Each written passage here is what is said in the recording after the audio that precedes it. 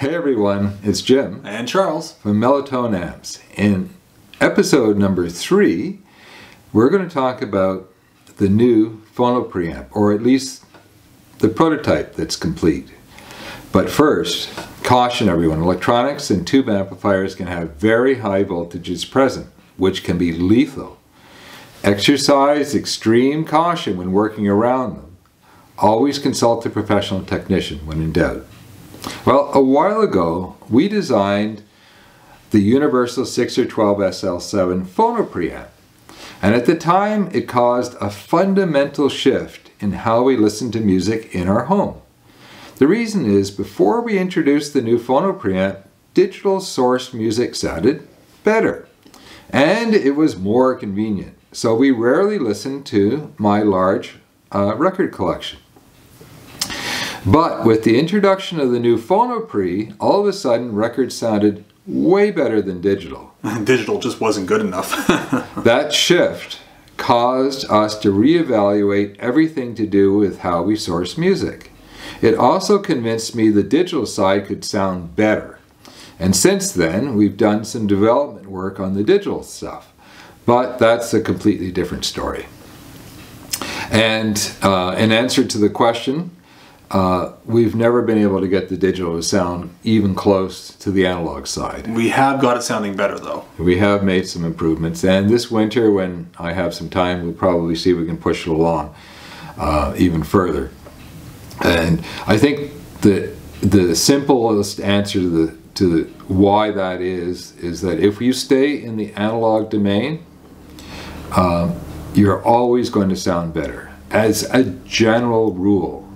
So there are terrible sounding records that will be bested by much better sounding digital sources. And there are terrible sounding digital sources that will be easily bested by almost anything that's been pressed on vinyl.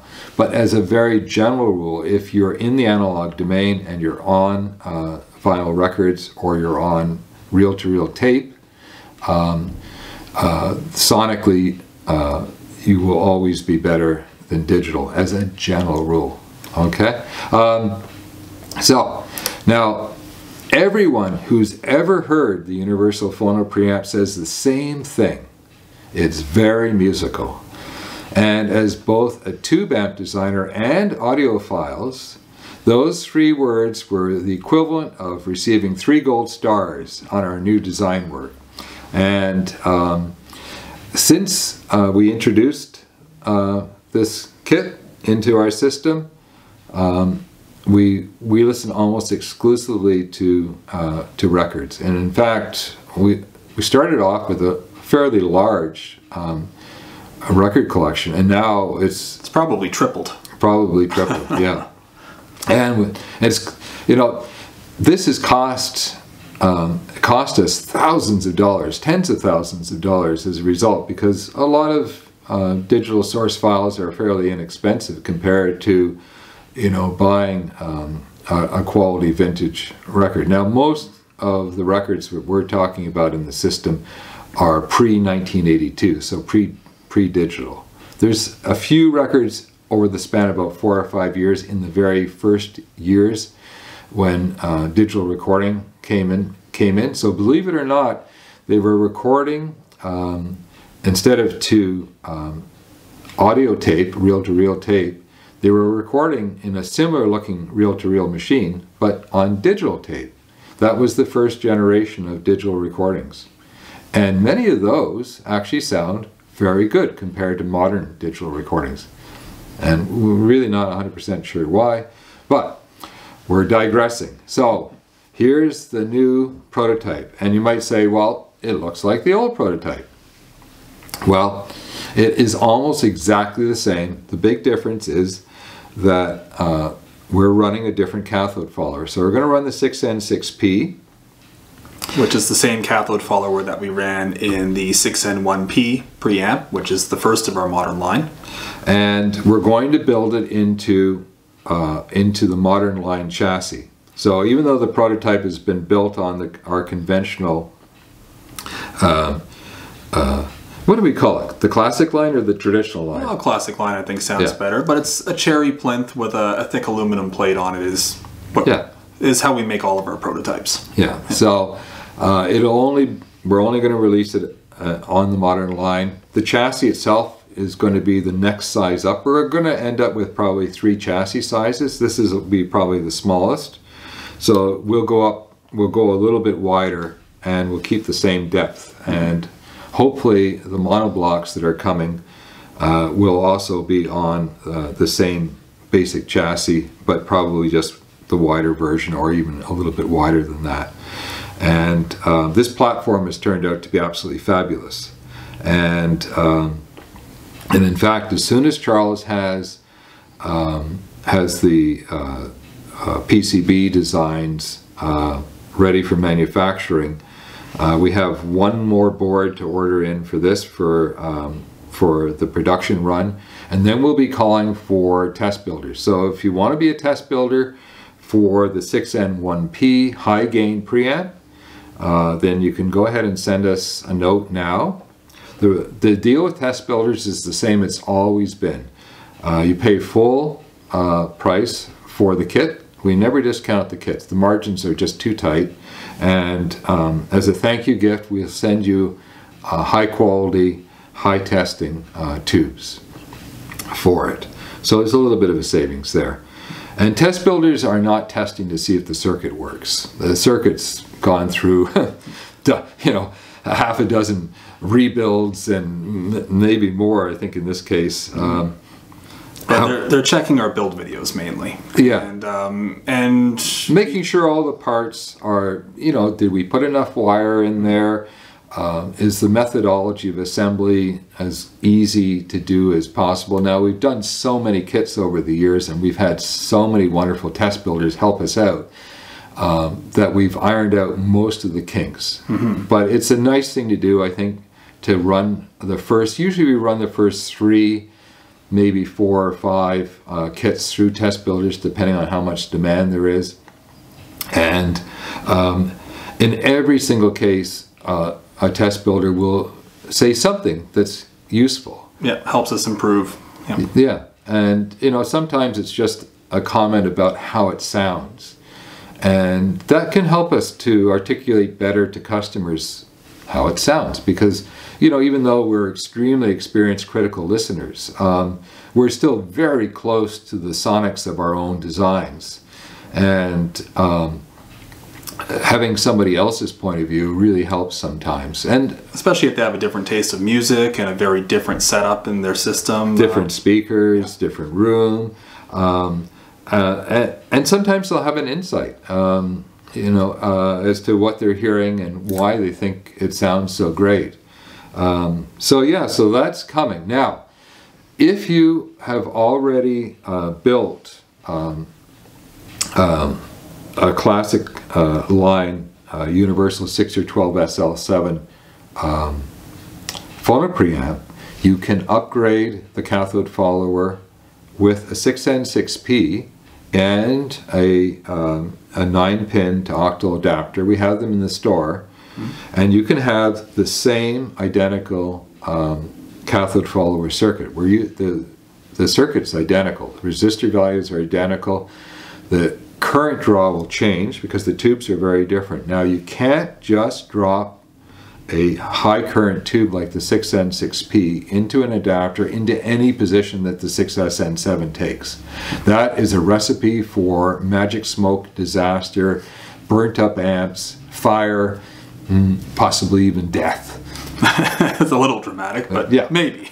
I'm just trying to convince people that, and this, this is something actually that we've been seeing in the last six months or so. We've seen far more posts from people who are just getting into tubes, plugging anything and everything into anything and everything, and that you just can't do that. Um, uh, we, I mean, even though we do a fair amount of experimentation on our benches, Yeah. we absolutely never do that. We, we'll have a data sheet. We'll check the maximums of the tubes that we want to try. we'll do a load line and make sure it looks reasonable. Yep. Yeah. Yeah. Uh, on the note of substituting the 6N6P into this guy here, you can only do it with 6 volt tubes because, of course, the filaments are shared across all of these.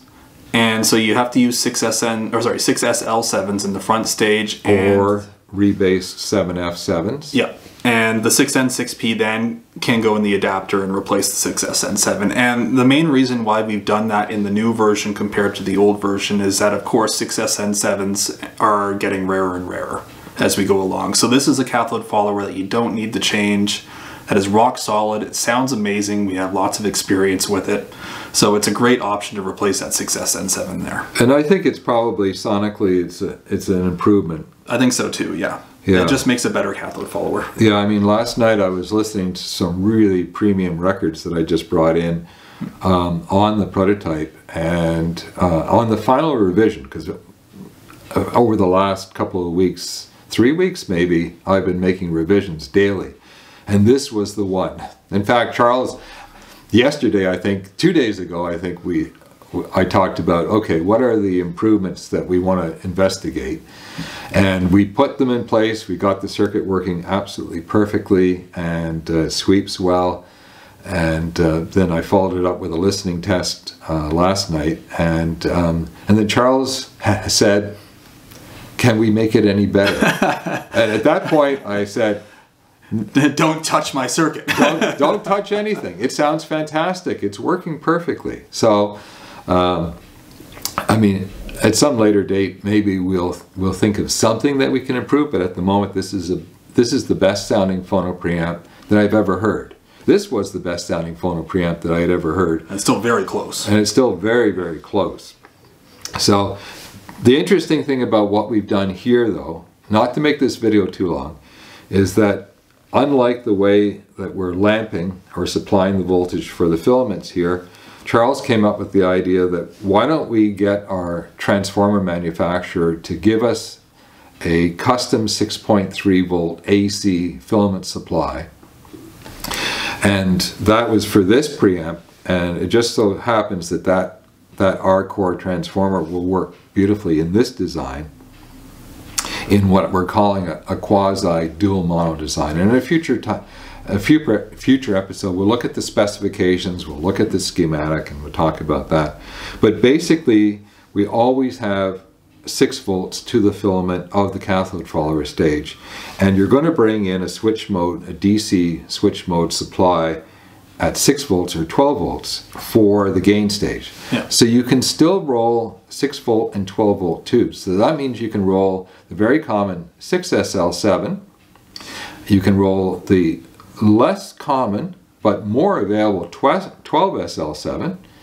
And uh, with the Loctals that we rebased, the 7F7, which is the, sorry, yeah, 7F7, which Yep. is the direct equivalent to the 6SL7.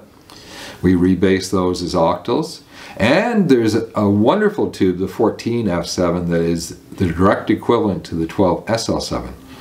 All made by Sylvania. They're actually identical tubes internally. It's just the, the pinout and the, and the, the basing of the tube. Mm-hmm. So this is going to still be basically a universal phono preamp. And yeah, so I, I'm really quite excited because I think the one reason why um, the world's greatest uh, kit phono preamp has only sold reasonably well, well enough that it'll stay in the lineup, is that it costs a lot of money. And you still have to build it, of course. And it's probably our most complex circuit, other than uh, one of our headphone prototypes. Yeah, so it's not, it's certainly not for beginner builders. You need to start on something simpler and smaller like this. But the best news is that we're hoping, like we did with uh, with the 6N1P uh, high gain preamp, is that we can bring this into the modern line chassis at a lot lower um, retail price. And a much simpler build. I don't know if it's going to be a lot simpler because the component count is going to be really close. Really the same, but there's a lot less point-to-point wiring that you'll have to do. Yeah. Well, there'll be almost none, just a very small amount. And Charles, Charles is the master when it comes to designing fabulous PCBs. And our manufacturer of PCBs, if they're not the best in the world, they've got to be, they've got to be close. Yeah, they do an excellent job. Yeah, they're just fabulous. So that's coming, and that that's going to be coming this fall. Um, and in fact, we'll be ordering parts hopefully in a week or so. So yeah, and we'll let you all know when it's available. Well, It's been nice chatting. I hope everybody enjoys the last nice days of summer. This is Jim And Charles. signing off. Cheers, everyone.